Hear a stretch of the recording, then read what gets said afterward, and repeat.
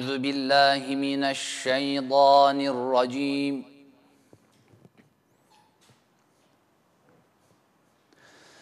بسم الله الرحمن الرحيم.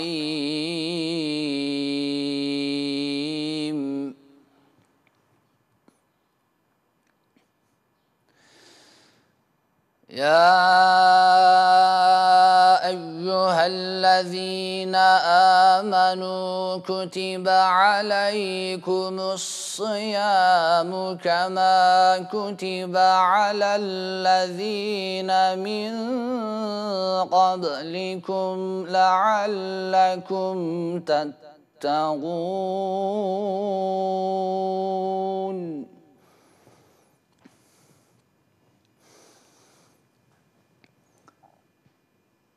أياما معدودات.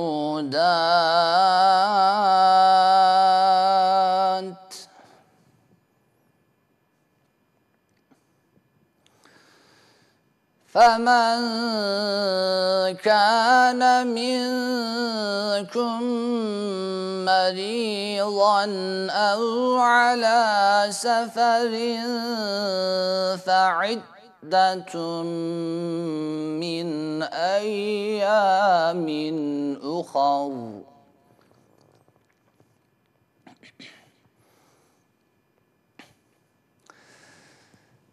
وعلى الذين يضيقونه فدية طعام مسكين.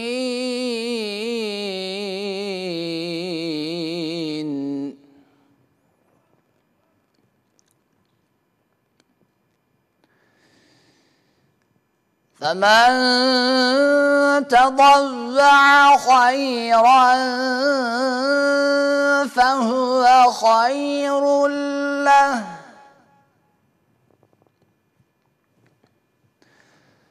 وأن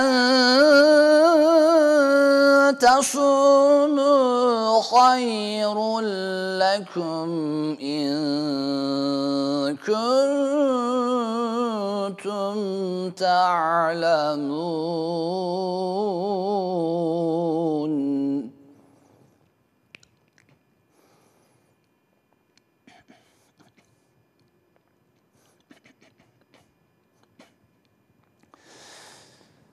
شهر رمضان الذي أنزل فيه القرآن هدى للناس وبينات من الهدى والفرقان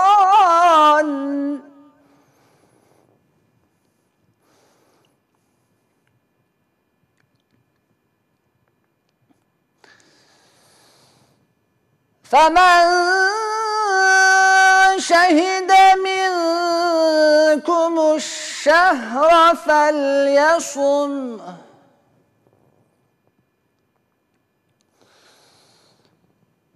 ومن كان مريضا أو على سفر فعدة من أيام أخر.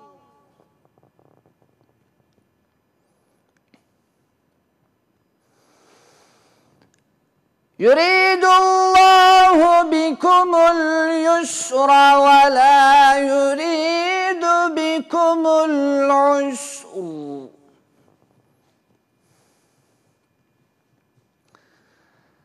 ولتكملوا العدة ولتكبروا الله على ما هداكم ولعلكم تشكرون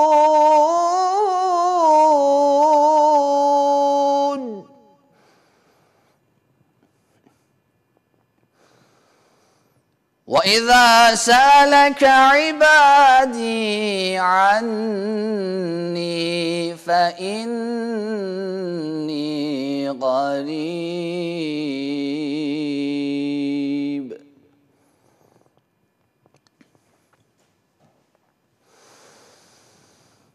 أجيب دعوة الداع إذا دعاني فليستجيبوا لي وليؤمنوا بي لعلهم يرشدون.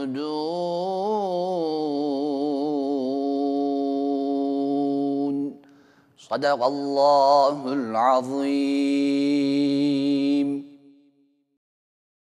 Rahman ve Rahim olan Allah'ın adıyla. Allah'ın selamı, rahmeti ve bereketi siz değerli izleyicilerimizin ve tüm inananların üzerine olsun. Sevgili seyirciler, Eskişehir İl Müftülüğü ve STV tarafından hazırlanan İftar Sevinci programıyla karşınızdayız. Bugünkü program konuğumuz Odun Pazarı İlçe Müftüsü Sayın Hamdi Uzunharman hocamız. Kıymetli hocam programımıza hoş geldiniz. Hoş bulduk. Teşekkür ediyorum. Afiyettesiniz inşallah. Elhamdülillah. Allah razı olsun. Sizler de iyisiniz inşallah. Elhamdülillah çok şükür hocam. Çok Allah'ım teşekkür ediyoruz programımıza versin. katıldınız tekrar. Ee, kıymetli hocam programımızın konusu Allah'a ve Resulüne gönülden bağlılık, itaat. Ee, bununla ilgili hocam öncelikli olarak bizim rehberimiz Kur'an-ı Kerim, önderimiz Peygamber Efendimiz sallallahu aleyhi ve sellem. E, bu konuyla ilgili Kur'an'da ve hadislerde ne gibi örnekler var veya nasıl itaat etmemiz gerektiği söylenir? Ne dersiniz? Tabii burada direkt şöyle diyebiliriz. Sevgili Peygamber Efendimiz aleyhissalatü vesselam bir hadisi şeriflerinde ne buyuruyor? Size iki emanet bırakıyorum. Bunlara sımsıkı sarıldığınız sürece asla yanlışa düşmezsiniz. Doğru yoldan sapmazsınız. Bunlardan birincisi Allah'ın kelamı olan Kur'an-ı Kerim, yüce kitabımız. İkincisi de benim sünnetimdir buyurmaktadır. Zaten e, Allah'a itaat noktasında, peygamberine itaat noktasında ve nihayetinde de dünya ve ahiret saadetini yakalamanın reçetesini sevgili Peygamber Efendimiz Aleyhisselatü Vesselam bu hadisi şerife de bize ne yapmış oluyor? Anlatmış oluyor. Evet. Yani bizim e, Müslüman olarak bu iki emanete sımsıkı sarılmamız gerekiyor. Doğru, evet. Tabii e, Hazreti Peygamber'i sevmek e, onun sünnetine sarılmakla olur. Çok doğru. Onun sünnetine sarılmakla olur. E, diğer taraftan da Hazreti Peygamber'in sünnetine uygun yaşamakla, hareket etmekle olur. Onun sevdiklerini sevmekle, onun kınadıklarını kınamakla, onun uzak durduklarından uzak durmakla bu mümkün olur. Tabii Allah'ı sevmek ve bunun karşılığında Allah'ın sevgi ve merhametine mazhar olmak Hazreti Peygamber aleyhissalatü vesselam'e tabi olmaya bağlıdır. Şimdi Allah'a ve peygambere itaat diyoruz ama dönüp dolaşıp yine yani burada gelmemiz gereken nokta neresidir? Sevgidir.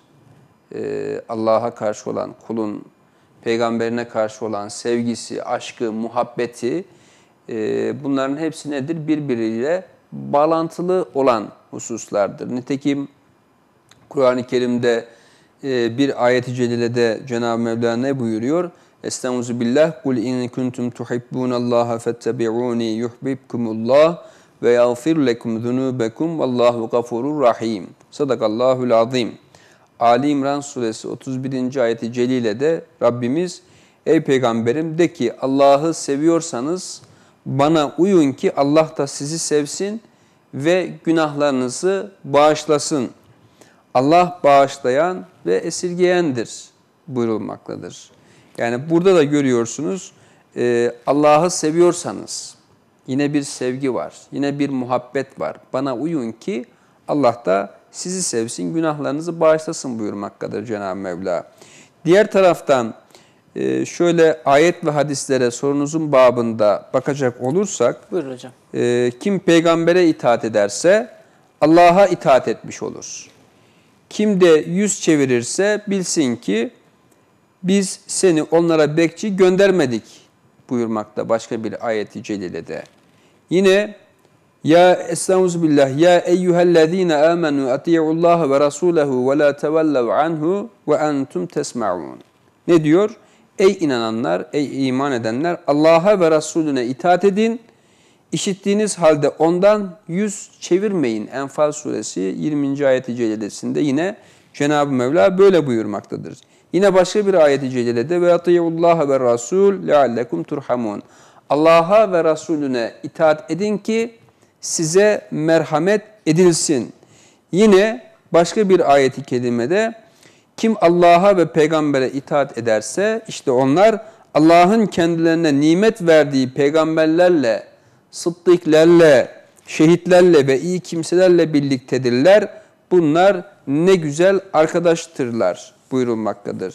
Dolayısıyla biz Allah'a itaat konusunda, peygamberine itaat konusunda e, Kur'an-ı Kerim'e baktığımız zaman birçok e, ayetin Etiyullaha ve Rasul, kul etiyullaha ve Rasul, Allah'a, onun peygamberine itaat etmeyi, Cenab-ı Mevla'nın emrettiğini, e, peygambere bağlılık olması gerektiğini, e, yine e, en başta okuduğum e, ayet-i celilede buyurduğu gibi e, Allah'ı seviyorsanız bana uyun ki Allah da sizi sevsin. Yani Allah'ın sizi sevmesi, peygamberini sevmenin sevmekten geçiyor. Bu ve buna benzer birçok ayet ve hadisleri e, görmemiz mümkün. Evet. Peki kıymetli hocam, Allah ve Resulüne itaat, sevgiyle ilgili ilişkilendirdiniz. Yani onları sevmekten geçiyor. Bu konuda neler söylersiniz hocam biraz daha açarsak? Tabii şimdi e, şöyle söyleyeyim. Bu biraz e, tasavvufi bir konuda. E, ilahi aşk, sevgi, muhabbet. Kişi sevdiğiyle beraberdir her şeyden önce. Sevdiğinin dini üzeredir. Biz Allah'ı öncelikle bizi yaratan Yüce Rabbimizi ne kadar tanıyoruz? Onun sevgili Habibini ne kadar tanıyoruz? Nitekim Kur'an'ın iki tane temel konusu vardır. Bunlardan birincisi nedir? Allah, ikincisi de insandır. İki temel konu. Orada Cenab-ı Mevla e, bize kendini anlatıyor. Sevgili Habibini anlatıyor. Yine aynı şekilde e, yaratmış olduğu insanı da anlatıyor. Kur'an-ı Kerim'e baktığımız zaman insanın vasıfları, özellikleri sayılırken insanın e, yerine göre yani gerçekten çok merhametli, e, çok iyi, hatta e, meleklerin üzerine çıkabilecek bir varlık olarak e, öngörülürken diğer taraftan da çok cimri, nankör bir varlık olduğundan da bahsediliyor. Yani insanın iki yönünden de bahsediliyor. Şimdi oraya fazla girmek istemiyorum. Özellikle burada vurgulamak istediğim şu. E, Allah bize kendini Kur'an-ı Kerim'de anlatıyor. Evet. Evet değil mi? Evet. Anlatıyor. Şimdi biz Kur'an okudukça Allah'ı tanırız.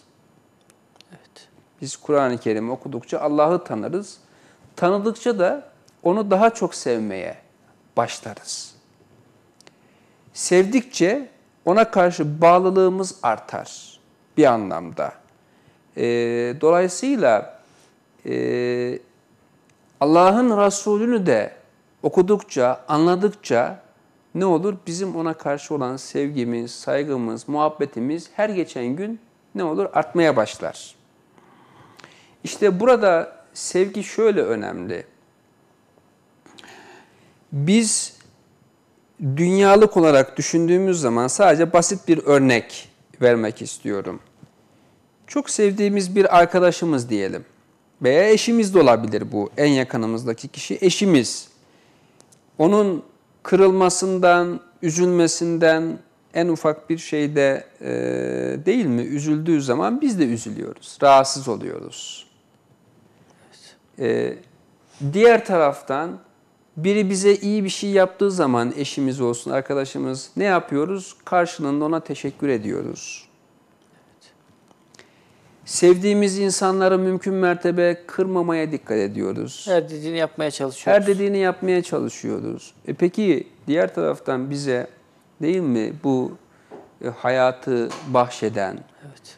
işte dünyayı sizin için bir döşek kıldım Evet. diyen ve yaşayabileceğimiz en güzel şekilde donatan, bizlere sayısız nimetlerini lütfeyleyen ve bununla beraber kalmayıp ilahi emirlerini içeren yüce kitabımız Kur'an-ı Kerim'i gönderen, yine bununla beraber kalmayıp o Kur'an'ı daha iyi anlayıp hayatımıza daha iyi tatbik edebil, edebilelim diye onunla beraber yine Peygamber Efendimiz Aleyhisselatü Vesselam'ı elçi olarak gönderen, Allah'a biz şükreden, itaat eden, onu seven bir kul olmayalım mı? Bazen düşünüyorum da şöyle, e, hani nefes alıp veriyoruz değil mi? Evet. Bu bizim elimizde olan bir şey değil, gayri ihtiyari olan bir şeydir. Nefes alıp vermek, gözümüzü açıp kapamak. Bazen şöyle düşünüyorum da, e, kendi kendime düşünüyorum bunu. Nefesimizi aldık. Evet. Veremesek ne olur? Ya Ölürüz. doğru. Nefesi verdik, tam tersini düşünelim. Alamasak ne olur? E yine ölürüz. Dolayısıyla bize e, hakikaten sadece bak bu küçük bir örnekti. Evet. Bunun haricinde bize elimizi değil mi, gözümüzü, kulağımızı, burnumuzu her şeyi vermiş Cenab-ı Mevla. Yani o örneğinizde hocam günümüzde de örtüşüyor. Hani şimdi koronavirüs sebebiyle Allah şifalar versin bütün Amin. hastalarımıza. Hani bir akciğer yetmezliği sıkıntısı olduğunda şimdi solunum cihazlarının ne kadar önemli ort- olduğu ortaya çıktı. Evet. Ama bütün bilimin bu kadar ilerlemesine rağmen bazen o solunum cihazları bile ne yapıyor? Yetmiyor değil mi hocam? Yetmiyor, tabii. Yani vefat ediyorlar. Allah hepsinden rahmet eylesin Amin. inşallah. Yani hakikaten doğru söylüyorsunuz. Bir de Kur'an-ı Kerim'de de şöyle bahsedilir. Hani siz hiçbir şeydiniz değil mi hocam? İnsan Tabii. suresinde öyle diyor Allah. Yani siz hatırlanmaya değer birisi bir şey bile değildiniz. Değildiniz. Ben size bir değer verdim, yarattım diyor. Ya sadece bu bile bence Evet. Allah'ı sevmek için yeterli. Sevmek için yeterli değil bir mi? örnek evet hocam. Ee, yani onun için e, biz Allah'ın bize lütfettiği nimetleri saymaya kalksak buna bizim ömrümüz yetmez. Yetmez. Efendim hiçbir insanın ömrü yetmez. İşte bize bu kadar güzel nimetleri vermiş Cenab-ı Mevla. Bunun karşılığında bizden ne istiyor Cenab-ı Mevla? Kendisine, onun peygamberine itaat etmeyi, teslim olmayı, bağlı olmayı istiyor. Başka bir şey istemiyor ki. Evet. Ve bu da yine kimin için? İnsanın kendisi için. Evet. Kendi menfaatine. E peki e, işte az önce söylediğimiz gibi biz en ufak şeyde eşimizi kırmayı, e, kırmaya üzülürken veya en çok sevdiğimiz bir arkadaşımızı kırmaya korkarken diğer tarafta da diğer tarafta da onların bize vermiş olduğu en küçük hediyede bile onlara karşılık teşekkür ederken işte bize bu kadar güzel hayatı veren Cenab-ı Mevla'ya şükretmek, ona itaat etmek, onun sevgili peygamberine itaat etmek, onu örnek almak bizim e, görevimiz değil mi? Evet hocam. Olması gereken bu değil mi? Çok doğru. İşte en ufak bir hediyede karşımızdaki insana teşekkür ederken bu kadar şeyi veren Cenab-ı Mevla'ya biz teşekkür teşekkürü nasıl edeceğiz? İşte ona itaat ederek, onun emirlerini, nehilerini yerine getirerek e, biz itaatimizi e, göstermeliyiz ki zaten e, Kur'an-ı Kerim'de ayeti celileye baktığımız zaman Estağfirullah ve ma halaktul cinne vel insa illa liya'budun. Ben insanları ve cinleri yalnız bana kulluk etsinler diye, bana bir diğer anlamda ibadet etsinler diye yarattım. Dolayısıyla bu ayet-i celilede insanın yaratılış gayesi de belli. Yani insanın görevi, sorumluluğu belli. Bizim görevimiz, sorumluluğumuz bir insan olarak Allah'a, onun peygamberine itaat etmektir. Ee, bu da nereden geçer? Bu da sevgiden geçer, muhabbetten geçer, aşktan geçer. Ee, bunu neden dolayı diyorum? Şundan dolayı e, kişi sevdiğini örnek alır. Sevdiği nasıl yaşıyorsa o şekilde yaşamaya gayret gösterir. İşte yine e, sahabiden örnek verecek ola- olacak olursak Hazreti Ebu Bekir radıyallahu anh der ki Resulullah sallallahu aleyhi ve sellem Efendimizin hiçbir sünnetini terk etmedim. Eğer terk edersem hak ve hidayetten sapıtmadan korkarım buyuruyor. Bu kadar hassas.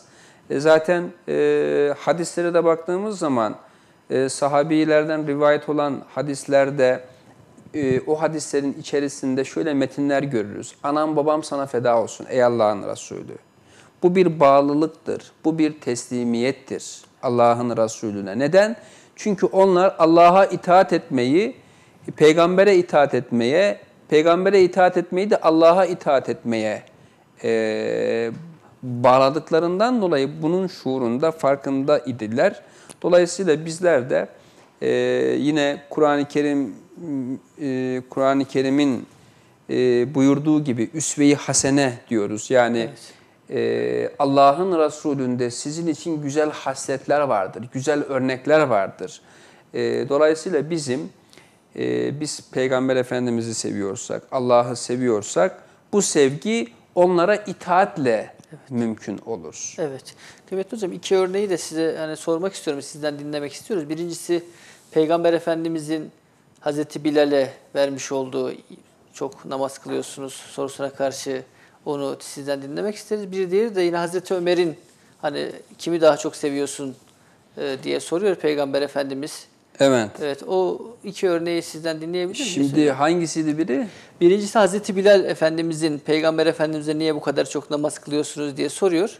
O da Rabbime çok şükreden bir kul olmayayım mı Evet. diye söylüyor. Allah'a şükreden, Evet. Allah'a şükreden bir Evet. kul olmayayım mı? Evet. Ee, orada nedir? İşte e, Hazreti Ayşe'den rivayet Evet. olunan bir hadis-i şerifte e, neden kendine bu kadar yıpratıyorsun? E, sevgili Peygamber Efendimiz Aleyhisselatü Vesselam'ın e, malumunuz olduğu üzere bir peygamber olması neticesinde onun hem geçmiş hem gelecek günahları ne olmuştur? Bağışlanmıştır. Evet. Efendim. Ee, ama o buna rağmen bağışlanmış olmasına rağmen ne yapıyor? Gece gündüz demeden e, Allah'a ibadet ediyor. Ve ne diyor? Allah'a şükreden bir kul olmayayım mı? Esasında burada neyi gösteriyor? Sevgili Peygamber Efendimiz işte ayette onu örnek alın. Bak işte geçmiş ve gelecek bütün günahları bağışlanmış bir peygamber Allah'a olan itaatini, ona bağlılığının neticesinde Allah'a şükrediyor. Ya biz ne olacağız? Ya evet. Değil mi? Efendim e, ne günahımız var yok bilmiyoruz. Belki her gün günaha giriyoruz. Belki bir kalp kırıyoruz. Bir Evet. yanlış yapıyoruz. Birçok günaha giriyoruz. Ya, Peki normalde bir Müslüman olarak bizim daha çok e, tövbe etmemiz, Allah'a şükretmemiz, ona bağlılığımızı daha fazla göstermemiz gerekmiyor mu? Evet hocam. Evet. E, bir diğeri de Diğeri de hocam Hazreti Ömer'e Peygamber Efendimiz hani Evet. anlatıyor orada aslında yani nasıl sevmemiz gerektiğini. E, tabii orada Hazreti Ömer radıyallahu anh Peygamber Efendimiz aleyhissalatu vesselama e, buyuruyor ki Ey Allah'ın Resulü nefsim hariç seni her şeyden daha çok seviyorum deyince sevgili Peygamber aleyhissalatu vesselam Efendimiz de buyuruyorlar ki olmadı ya Ömer diyor. Olmadı diyor. E, tabii bu sefer Hazreti Ömer radıyallahu anh buyuruyor ki e, Ey Allah'ın Resulü nefsim de dahil artık. Bakın seni her şeyden daha çok seviyorum deyince sevgili Peygamber Efendimiz aleyhissalatu vesselam oldu şimdi ya Ömer diyor. Yani e, zaten burada Efendimiz aleyhissalatu vesselamın hadisi şerifinde buyurur ki hiçbir kimse hiçbir kimse ben kendisine babasından, evladından ve bütün insanlardan daha sevgili oluncaya kadar kamil mümin olamaz buyuruyor. Evet. Bakın. Peygamberi e, peygamber sevgisi şudur. Yani kişi canından, malından, anasından, babasından, evladından yani daha dünyada artık ona sevgili olan, onun ona hoş gelen ne kadar şey varsa hepsinden daha çok ne yapması lazım? Sevmesi. Peygamberi sevmesi lazım ki kamil mümin olsun. İşte az önce de söylediğimiz gibi anam babam canım sana feda olsun ey Allah'ın Resulü diye sahabiler ne yapmıştır? Söylemişlerdir. Çünkü mesela e, bir örnek daha vereyim. Hazreti Ebu Bekir radıyallahu anh da ilgili Peygamber Efendimiz Aleyhisselatü Vesselam Hazreti Ebu Bekir radıyallahu anh'ın olduğu bir ortamda diyor ki Ey Allah'ın Resulü e, özür diliyorum E, ben diyor Hazreti Ebu Bekir'in malından efendim e, yardımlarından birçok şeyinden e, çok defalar istifade ettim. Buyurunca bunun üzerine Hazreti Ebu Bekir de diyor ki benim canım malım zaten senin değil mi? Senin için diyor. Ya. Benim canım da sana feda olsun, malım da feda olsun, her şeyim sana feda olsun. Ey Allah'ın Resulü diyor. Yeter ki sen diyor bizden razı ol. Yeter ki Rabbimiz bizden razı olsun buyuruyor. Dolayısıyla e, sahabinin e, Allah Resulüne bağlılığı, ona karşı olan sevgisi, muhabbeti, aşkı hakikaten çok fazla. Yani o öl dese herkes ölüyor. Öyle bir yani Allah Resulü feda et dese insanlar ne yapıyor? Her şeylerini feda ediyor. Mesela e, vaktimiz varsa Buyurun hocam, e, tabii. bir örnek daha Tabii vermek hocam, istiyorum. Bu e, Allah'ın Resulüne itaat etme e, açısından önemli bir örnek. Enfal suresinde e, orada e, tabi Müslümanlar e, Mekke'den Medine'ye hicret etmiş. Orada Ensar Muhacir kardeşliği kurulmuş. Bunun neticesinde tabi Medineli Müslümanlar malumunuz olduğu üzere Akabe'de bir biat Evet. e, hadisesi var. Biat ediyorlar. O biatın o biatta da e, yanlış hatırlamıyorsam Allah ve Resulünü e, Medine'de koruyacaklarına dair Evet. bir e, garantörlük Evet. veriyorlar. Tabi e, süremiz herhalde Dört dakikamız dört var hocam. Buyurun hocam. var. Evet. E, az kaldı. Buyurun. E, hemen kısaca anlatayım. Şimdi orada Enfal suresinde e, Allah Müslümanlara iki şeyi iki şeyden birini vaat ediyor. Ortada iki tane şey var. Birine Kureyş ordusu çıkmış Bedir'e kadar geliyor. Evet. Savaş.